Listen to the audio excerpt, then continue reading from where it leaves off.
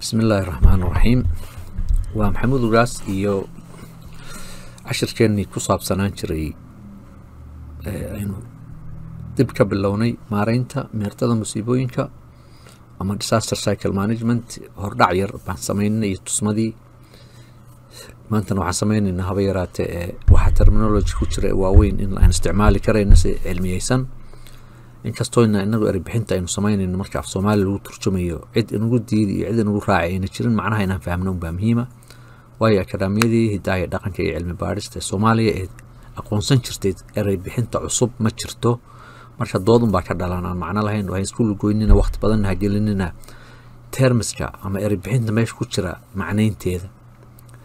Waxaan kaloo halkan ku soo bandhigi doonaa oo dad fara badan oo agaasimayaashii maareynta musiibooyinka ee goboladeena jubbaland somaliland iyo meelo badan oo kaleba galmudug puntland dad fara badan mas'uuliyiin ah ayaa ila soo xidhiiray qaarna aan horey isu naqaanay.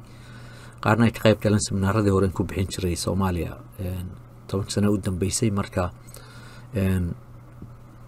bugaag aada fara badan oo disaster cycle managementga ka hadlaya ama teesisyo la qoray oo maaragtay laga qoray musiibooyinka sida loo maareeyo ayaa jira.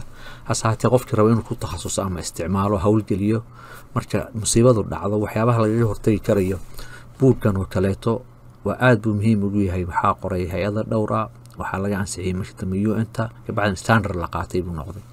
Haddii ay noqon lahayd دادك مصيبة دكو دعضي يرقار كودة انت الدول لسين كارو انت عمت لسين كارو انت بيير لسين كارو انت شلتر اما سليد لو عبر ايو ينام لو عبر لها دراسة دا هوري vulnerability assessment ايا انت نقول كوبية وعد فربضان وكلو ان يلو ذاجر كونا نويتران ان شاشة دان سو ساردون لكن ما انت عشر كنو خساب سنية ريبحنت اللي استعمال لها scientific جاها انين مدول بمالميل كوب سنو مركين عشر كود حجر لسي انو قود بيرا هذا وفكر رب قالن بو ما يسانيها asalaamu calaykum waraxmat ullaahi wabarakaatu sidii hadda aan slidekii hore ku soo aragnay maanta waxaynu darsaynaa wax yaroo kooban. Waag dhowr oo muhiim ah oo aan shaashad soo saari doono sida labadan hadda inii muuqata iyo ereya aan macnayn doono. Kadib baynu cashirka si toos u bilaabi doonaa insha allah. Buugga koowaad ee hadda muhiimkiihi waxaa weeye disaster planning and recovery. Qofkii raba inuu ku takhasuso markii musiibadu dhacdo siday dadku uga kabmi lahaayeen dhibaatada buuggan recoveryga ayaa way u kala horeyn karaan. Qofkii raba inuu takhasus wax kuba qaato ama isticmaalo laakiin recoverygani waxaa weye guide waa hagid dhammaystiran oo dadka farsamo yaqaanka ee professionalska loogu talagalay inay isticmaalaan si wadanka recovery loogu sameeyo ee dadka musiibada ku dhacday. Buugga labaadna waxaa kii hadda aan sheegayay sphere project qolada rabta emergencyga inay ka qayb gasho waa laga maarmaan buuggan ba hadda adduunka aada caan u aho standarada la qaatay ah. Marka buwaag badan oo kalean arki doonaa ereyada aanu isu gudubno. Ereyga koowaadee muhiimkii waxaa weye waa mitigation. Mitigation waa jawaab bixin un weye macnaha kaloo loo isticmaalaya ma jiro. Ama waqti emergency u dhaco in mashaariicdii la bilaabo weye bilaabidii iyo iyo hirgelintii iyo laakiin mitigationka hadda jawaabtii laga bixin lahaa weye preparedness waa u diyaargarow musiibada intayna dhicin recovery waxa weeye markay musiibadu dhacda emergencyga laga baxo tallaabadii koowaadee dadku ku kabmi lahaayeen recovery baa la dhihi. Rehabilitation waa tallaabadii ku sii xigi lahayd oo in la dayactiro iskuuladii noloshu caadi ku soo noqoto iyo beerihii iyo dadka noloshoodii caadi inkamyadoodii kor loo qaado. Development weye inay horumaraan oo disaster cycleka kaba baxaanba si ayna musiibo kastoo dhacda ugu iilanin vulnerability analysis dadka say u nugul yihiin sidii loo baari lahaa weye marka inta ay nugul yihiin digrii baa jira la qaato. Mid waxaa jira la dhahayo waa emergency waa extraordinary emergency. Waa isaga qudhiisa waaba disastera. Kuwa normala kuwa significant. Marka vulnerability analysis waa muhiim weye. Early warning system. Dadka in loo diro oo musiibadaasaa dhici doonta la yidhaahdo qalab casri ah oo satalaadyo oo scientific oo baaritaan local system baa jira early warning system inay leeyihiin dadku. Oo dowladdu ay u adeegto oo ay u gaadhsiiso iyadana waa muhiim. Sustainable development waxaa weeye horumar waaraya in laga sameeyo dadku ay disaster cycle ka dhex baxaan. Inta mashruuc horumar waaraya ee socoto waa dowladda waa lagula xisaabtami karaa waa la weydiin karaa ama sustainable development. Temporary shelter waqtiga musiibadu dhacdo dadku way soo barabixi meesha ku hoyan lahaayeen ku meel gaara weeye intay recovery ka sameynayaan medical emergency packageku wuxuu ka mid yahay humanitarian responsiga dawooyinka emergencyga meesha in la gaarsiiya ay tahay markii musiiba dhacdo waa maxay? Musiibadaas dab buu noqon karaa dagaal buu noqon karaa wuxuu noqon karaa abaar fatahaad nooc walba uu noqon karaa infestation ama dhibaato ku dhasha beeraha oo dulin ah oo halaagaya. Beeshkan labaad waxaan ku soo bandhigaynaa laba buur oo kale number three project management board of knowledge wey heer kasta oo musiibadu marayso shan level bay maraysay waanaga sheegnay. Hordhaca ku sheegnay. Emergency recovery rehabilitation development iyo preparedness. Heer kasta mashaariicdooda sidii loo diyaarin lahaa. Mashaariic kala duwan bayay leeyihiin. Iyo standardkii la qaadan lahaa sidii daraasad loo sameyn lahaa. Feasibility stage prefeasibility stage field stage mashaariicdii oo guddiyo loo sameeyo la bilaabo la wado la dhammaystiro la control. Body of knowledge wey buurka afraadan wuxuu ku saabsan yahay health resilient and sustainable community after disaster. Yani disasterka masiibadu markay dhacdo kadib immediate ah istaraatiijiyadii fursadihii qorsheyntii lagu sameyn lahaa levelka koowaad recoveryga levelka labaad. Ayuu kanina ku saabsan yahay. Ribcinta haddaynu sii wadno ereyga iyo tobnaad wuxuu noqonayaa national development plan dowlad aan lahayn national development plan. Waa barnaamijka lagu horumarinayo wadanka iyo gobolka iyo degmada iyo tuulada. Ilaa heer tuula haddayna lahayn oonu ninka tuulada hogaanka uu una dhihin balaanka intana igaga aadan wax loo horumarin intaasoo mashruuc baa la bilaabi doona intaasa hadda socota intaasa dhammaatay una odhanin yacni una miisaaniyaddeedii war haynin ciddii wadi lahayd ciddii controlheed ogeyn. Yani wax badan meesha kama jirayaan weeye dadka advocacyga sameeya waxaan leeyahay meel kastoo tagtaan oo advocacy rabtaan inaad ka samaysaan dowladda haska eedaynina dowladdu wax fara badan oo wanaagsan oo samaysaa jira. Laakiin waxayna sameynin si aad u soo saartaan tuulada iyo degmada markaad ka soo bilowdaan weydiiya national development plan ma haysataan waxayna kaga aadan. Gobolka weydiiya deegaanka weydiiya marka taasaa aada muhiim u ah. Data collection methods wax kasta oo la bilaabaya ka hor information baa la soo ururiyaa daraasad la yiraahdo go'aan baa laga qaataa. Nidaamka marka daraasadaha loo ururinayo oo idil baa information data collection la yidhaahdaa waan waxaasoo dhan si practicala oo scientific aynu macnayn doona haddii alla u dhexgeli doono data availability. Datadii la soo ururiyey inuu cid jeebka iska gashada maaha laakiin in looga dhigo dadku inay wada heli karayaan availability available weeye accessibility. Iyagoon iibsanaynin ama hadday raba ha iibsadaane inay isticmaali karaan weeye haddana. Data accuracy datadii inay sugan tahay oo sida loo ururiyey sampling theoryga sambalada la qaatay ay yihiin mid kuwa saxa oo ayna jabnayn ay dhisan yihiin oo lagu camal fali karo.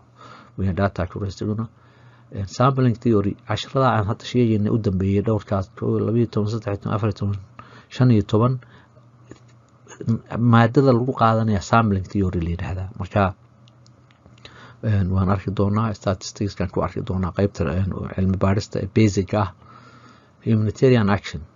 Humanitarian action waxa tallaabo kastoo la qaadayo waa humanitarian action baa loo bedelayaa. Macnihii guddiyaa la sameyn legaal ah guddiyadaasi mandate baa la siin guddiga ugu hooseeya communitygooda lagu ka koobnaanayaa guddiga la humanitarian action plan baa loo sameynaya. Marka waxyaabaha ay waajibku inay fuliyaan iyo iyaga sida loo controli karayo oo laysku darayba action plan noqonaya. Logistic support. Mashruuc kasta heer kasta oo levelka d c m ku marayo marka la howlgelayo waxay u baahan yihiin taakulayn ah sahay ah gaadiid raadiyaal firijiyo call change oo lagu qaado dawada combyutaro waxyaabaha qalabka wax lagu cabiraya surveyga waxaasoo idin logistic support noqonaya. Marka degmadu degmooyinkeena hadda soomaalida aada iyo aad bay logistic support ugu yaryihiin hadduun logistic support jirinna yacni wax la qabanaya effective ama dhaxalgal ma noqonayo. Marka minimum standard waa waaye tallaabo kastood qaadayso hadda hadda iskuol la dhisayo heerka rehabilitationka ah iskuolka imisa arday baa kalaaskiiba geli. Oo ha loo geliye intaasoo macalin ma loo heli karaa. Standardadii la mari lahaa oo dhan wey. Heer walqaba standardkiisa gaarkii leeyihiin emergency boqol kun oo qof oo kugu soo barabaxday oo abaara ka baxday. Cunto intee dhan intee dhanoo saliida intee dhanoo sonkora intee burca la siinay weeyaan macnaheedu. Developmentigu wuxuu ka hadlay yacni dadkaana qaadayay mishaarkoodu ku filan yahay nolol rasmi ah oo waara oo permanent ah inay helaan. Marka standardo la marayo wey wages ma jiraa go-an base wuxuu rabo qof waliba siinaya marka waa arrin aada u baaxad weyn wey. Minimum operating standard. Waxa weeyaan dadka shaqaynayay standardka ay ku shaqaynaya irqudhooda muxuu yahay. Inta badan dowladaha hadda inoo ka mid nahay dhaqaalaha waxaa siiya dunida horumartay baa siisa. Marka mashruuc matalan emergency ah oo dad dhimanaya lala gaarayo gaargaar deg dega ayay canadianka waxay ku deeqayaan hal milyan laba milyan oo dollar shardi waxay ku dhigayaan hal qof oo expatriate canadian ama laba qof in lagu soo daro mashruuci haddii kale ma fulinayaan. Waa standard caalami oo la qaatay. Kaa lagu darayo expatriate-ka ajnabiga ah ee canadian passportka wata. Muxuu uga faa'iidaysanayaa taxi buu wadankii ku soo celin. Isagiina wuu isku filaanayaa wadankii dhaqaalihii uu bixiyey buu mishaarka heliyaa. Standardkiisu marka muxuu noqonayaa? Wuxuu noqonayaa canada ku qaadan lahaa mid ka badan. Way hardship allowance baa la siinaya waxaad arkay niman cadaana oo wax badan aan qabanayno project managers isku tilmaamay. Inkastoo inay aqoon leeyihiin marka la xulanaya laga maarmaan tahay. Haddana gaariyaal waaweyn wato guriga ku jira teendooyin wato qalab wato dalxiis ku jira oo diyaarad sii raacay soo raacay. Dowladdii deeqda bixisay ayaa boqolkiiba konton mishaar ugu talagelaysa inay dadkeedii ku naasmuujiso boqolkiiba konton soo hadhina national staff iyo local staffka iyo dadka servicekii loo qaban lahaa bay marka inta gaari u baahan yihiin inta raadiya u baahan inta nolol u baahan standard la marayo oo caalami oo la wada seexay oo aada loo wada ogyahay wey. Laakiin dadkan standardkan inuu jiro ogeyn way ka xumaanayaan waxay leeyihiin hal nin oo ajnabi ah ayaa mishaarku qaadanaya kontonka qofe mashruuca ka shaqeynaya ka mishaar badan yihiin maxaad samayn dowlad baad u doonatay lacag dowladdiina shardigaasi kugu xidhay marka qolada mashaariicda diyaarinaysa hadday ka tagaan markay mashruuca diyaarinayaan expatriate moneygaas salarigaas iyo alwansiyada iyo boonasyada waxba la cidlana ku siinay mayso. Waan arki doonaa insha allah. Kan u dambeeya ku soo koobayno laba buugoo kalan qaadan buugga shanaad iyo buugga lixaad. Buugga shanaadi waxaa weeye environmental health and hazard risk assessment.